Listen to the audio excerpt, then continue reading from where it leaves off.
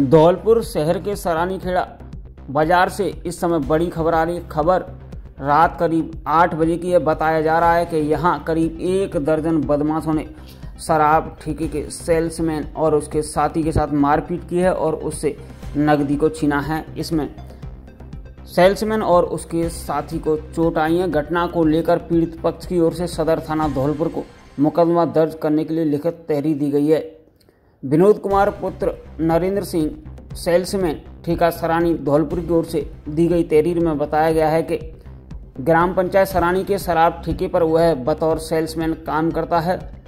इकतीस आठ दो हज़ार इक्कीस को शाम करीब आठ बजे ठेके को बंद करके रात्रि कैश करीब अस्सी हज़ार रुपये लेकर वह अपने ठेकेदार को देने जा रहा था। और इस समय उसका साथी राजपाल, पुत्र भोगीराम निवासी मझुआ धौलपुर जाने के लिए ठेके के बाहर शटल डालकर, जैसे ही बाहर निकले तो ठेके के बगल में दीवार के सहारे कुछ लोग खड़े थे। दीवार के सहारे खड़े लोगों ने हाथ में लगे बैग को छीनने की कोशिश की। जब इसका विरोध किया तो राज्यपाल के ऊपर कट्टा तान लिया और घबरा कर चिल्लाने लगे तो उनके अन्य आठ दस व्यक्ति आ गए। उन्होंने लाठी डंडों से हमला किया। और मेरे और मेरे साथी के शरीर में चोटें आ जाने से कैश का बैग लेकर भागने में सफल रहे, जिसमें से दो व्यक्तियों की पहचान कर ली गई है, जिसमें से एक व्यक्ति का नाम नरेंद्र पुत्र चौहान निवासी सरानी एवं उसका छोटा भाई पिंटू है, जिसके हाथ में कट्टा था। पीड़ित पक्ष की ओर से मामले में मुकदमा दर्ज कर कानूनी कार्रवाई करने की मांग की गई है।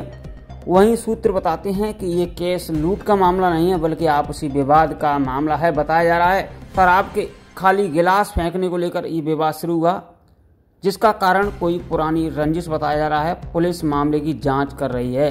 शाम को उस टाइम मैं दौड़पुर जाने की तैयारी कर रहा था कैसे लेके। इसी बीच चौहान के लड़के हरेंद्र सचिन और नरेंद्र और उनके साथ अन्य दस लोग आए थे। कैश लूट के ले गए, मेरा मोबाइल ले गए और मेरे मारपीट कर गए सात पचपन की घटना है। कैश कितना था?